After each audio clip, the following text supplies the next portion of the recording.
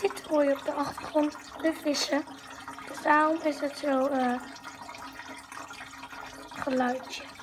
Dus daarom weet je waarom.